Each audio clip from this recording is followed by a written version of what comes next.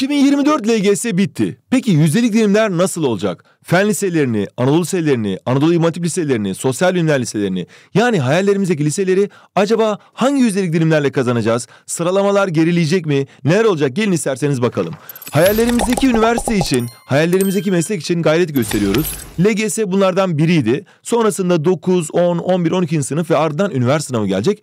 Bu sene üniversite sınavı da biraz zordu. Gerçekten üniversite sınavında 5-6 net daha düşük netlerle insanlar geçen sene veya ondan önceki sene kazandıkları yerleri kazanabileceğini söylüyor uzmanlar. Ama LGS'deki zorluk bu seviyede değildi. Acaba LGS neler zordu gelin isterseniz inceleyelim. 2024 LGS sözel ve sayısal kitapçığa baktığımızda uzmanlar diyor ki Türkçe'de iki tane soru zorlayıcıydı. Yani iki tane soru gerçekten birçok öğrenci tarafından uzun bulundu. İnkılap tarihinde bir tane soru bilgiye dayalı olduğu için birçok öğrencinin kaçırdığı soru olabilirdi.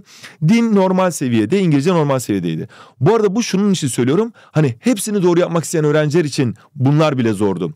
Matematiğe baktığımızda orta seviyede olduğu söyleniyor. Fende ise gerçekten 3 tane tüm Türkiye'yi zorlayacak soru vardı. LGS 2023'e arkadaşlar 1 milyon 246 bin kişi başvurmuştu. Hatta LGS 2022'ye de buna benzer 1 milyon 250-300 bin kişi başvurmuştu. Ama LGS 2024'de başvurular otomatik yapılmadığından katılımcı sayısı daha az oldu. Yani 1 milyon 38 bin 192 kişi başvurdu. Fakat bu katılmayanlar da muhtemelen LGS'ye çok fazla çalışmayacak olan, LGS'de sizin rakibiniz olmayacak olan kişilerdi. Şimdi öncelikle şu bilgiyi verelim sizlere arkadaşlar. LGS'de puan eşittir şampuan. Yani puanın hiçbir ehemmiyeti yok. Acaba kaç puan aldım? Kaç puanla gireceğim? Bunun hiçbir önemi yok. Neden biliyor musunuz? Bakın şöyle göstereyim. LGS'de 2022 yılında 480 puan alan birisi 0.52. dilimdeyken 2023 yılında 480 puan alan birisi 1.50. dilimdeydi. Gördünüz mü bak neredeyse 3 kat geriye düşmüş. Ya da e, 2022 LGS'de 470 puan alan bir kişi birinci dilimdeyken bayağı iyi birinci dilimde. Ama 2023 yılında 470 puan alan birisi üçüncü dilimdeydi. Veyahut da 2022 yılında 400 puan alan bir adayımız 8,99'a yani neredeyse 9. dilimdeyken 2023 yılında 400 puan alan bir aday ise 14,50'deydi. Yani şunu demek istiyorum. 2022 yılında 400 puan alan bir aday fen liselerini, Anadolu liselerini kazanabiliyordu. Çünkü Anadolu liseleri 12-13 civarlarında, fen liseleri de 9-10 civarlarında bitiyor. Ama 2023 yılında giremiyordu. Dolayısıyla puan eşittir şampuan arkadaşlar. Sakın sakın kaç puanla alıyor, kaç puanla girerim bunlar hiç bakmanız gerek yok. Herkesin sınavı zor geçti. Dolayısıyla tercih dönemi artık çok önemli. Tercih döneminde de bizler sizlerin yanınızda olacağız. Hiç endişelenmeyin. Şimdi öncelikle şunu artık eminiz değil mi? Puan eşittir şampuan. Bizim yüzdelik dilimimiz sıralamamızı verecek ve biz puanı esas almadan sıralamalarımıza göre hareket edeceğiz. Burada TEOK döneminde, LGS'de, işte en son yapılan LGS puanlar değişebilir, geride kalabilir, artabilir ama biz net bir şekilde netlerimize ve sıralamamıza dikkat etmemiz gerekiyor. Şimdi burada hatta size daha spesifik örnekler de vereyim. Diyelim ki 2018 yılında Göksun Fen Lisesi Kahramanmaraş'taki Fen Lisemiz e, 351 puandaymış. Sonra 2019'da 419 puan olmuş. 2020'de 395 puana düşmüş. 2021'de 370 puan olmuş. Sonra 2022'de 400 puan olmuş. Sonra 2023'de 391 puan olmuş. Ama dilimine bakın. Bakın 8,6, 9, 8,7, 10, işte 9. Yani bu şekilde hareket etmiş. Bunun 16,84 olmasının sebebini biliyoruz. Buradan bir kez daha tüm deprem yaşayan şehirlerimize geçmiş olsun diyoruz. İnşallah Allah bir daha böyle bir şey yaşatmaz. Şimdi diğer şehirlerimize baktığımızda mesela diyelim ki Aydın'a bakalım. Aydın Söke Yavuz Selim Anadolu Sesi 333 puan, sonra 405 puan, sonra 382 puan, sonra 358 puan, sonra 390. Ya puanlar değişiyor. Ama dilimine baktığımızda 11,28, 11,71, 11,33, 12, 11, 11. Yani dilim hep aynı. Dolayısıyla sizler arkadaşlar tercih yaparken sadece ve sadece dilimlere bakacaksınız.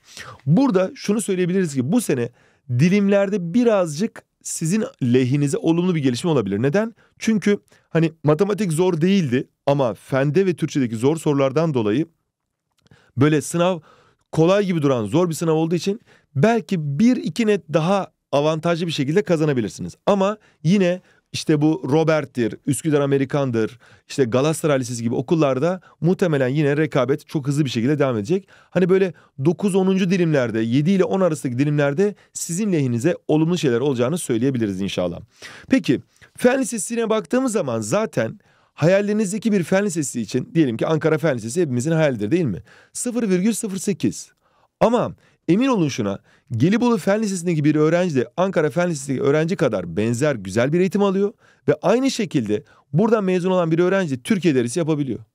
Dolayısıyla ben Ankara Fen Lisesi'ne giremedim eyvah bitti hayatım diye düşünmenize gerek yok. Yani arada bu kadar fark olmasına rağmen buradan da çok başarılı öğrenciler çok güzel okulları, çok güzel üniversiteleri kazanabiliyor. Aynı şekilde benim Ankara Fenli arkadaşlarım var.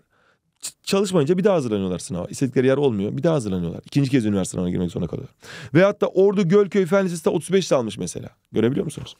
Türkiye'deki en iyi 10 fen lisesi Ankara, İzmir, Atatürk Fen, Tofaş Fen, Çapa Fen, Adana Fen, Ankara Pursaklar, Osman Ulubaş Kayseri Fen, Aziz Sancar Fen, Yusuf Ziya Ömer Fen Lisesi bunların her biri genellikle sıfırıncı dilimlerde. Bu sene de yine bu dilimlerde olacak arkadaşlar. Bunu aklınızdan çıkarmayın. Puanları değişebilir. 499 olur, 498 olur, 490 olur fark etmez. Ama dilimleri burada olacak. Ama burada esas bilgi bu fen liselerinden herhangi birini kazanamadıysak da bizler yine bu fen lisesinden mezun olacak öğrenciler kadar başarılı gelecekte çok güzel üniversitelere girebiliriz. Bunu bilin bir kere.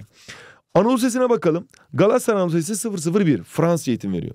Üsküdar Ahmet Keleşoğlu Anadolu Sesi bu da Anadolu yakasında 4,39 alıyor. Geçen sene almış daha doğrusu. Ali Akkanat Anadolu Lisesi de 16,51 alıyor. Şimdi tabii ki Galatasaray Lisesi'nin ayrı bir havası, ayrı bir aurası var. Ama benim Galatasaray Lisesi'nden mezun olmuş birçok arkadaşım var. Üniversite sınavını istedikleri gibi yapmadıkları için Sorbon'a, Fransa'ya gittiler. Veya veya üniversite sınavına iyi hazırlanmadıkları için bir daha yeniden ikinci kez hazırlanmak zorunda kaldılar. Aynı şekilde çok çok başarılı olmuş arkadaşlarım da var Galatasaray Lisesi'nden. Yani esasında nasıl siz LGS sürecinde hani aa bu şu ilkokuldan geliyor o zaman bu LGS'de full yapar diyemiyorsunuz ki.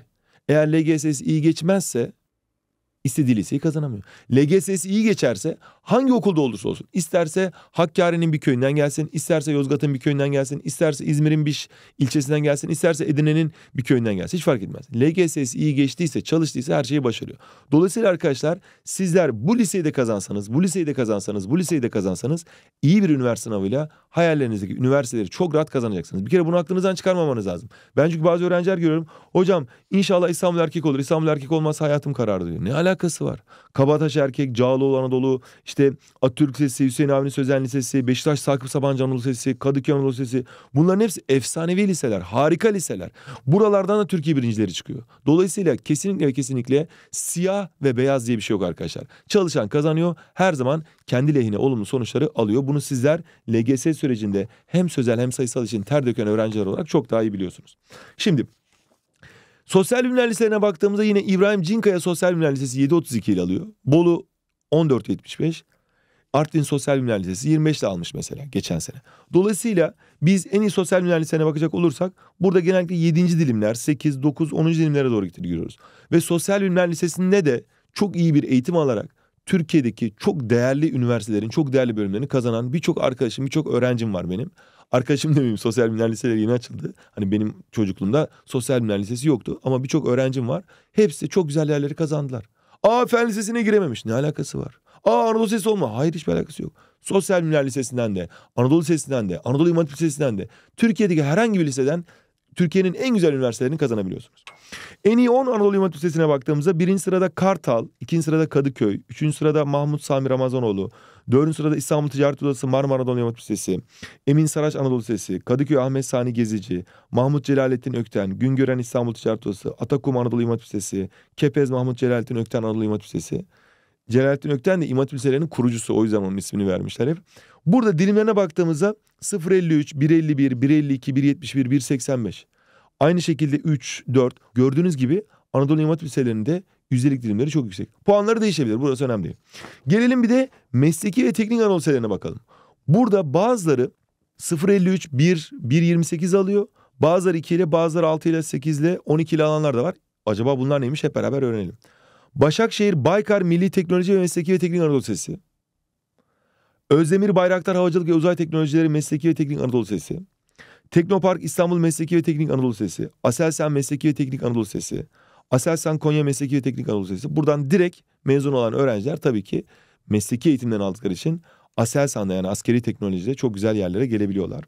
İstanbul Teknik Üniversitesi Mesleki ve Teknik Anadolu Lisesi, İstanbul Havalimanı, Cezeri Yeşil Teknoloji, Demirören Medya ve Teknoloji, Otomotiv Endüstrisi İhracatçıları Birliği Mesleki ve Teknik Anadolu Lisesi gibi çok değerli meslek liselerimiz var.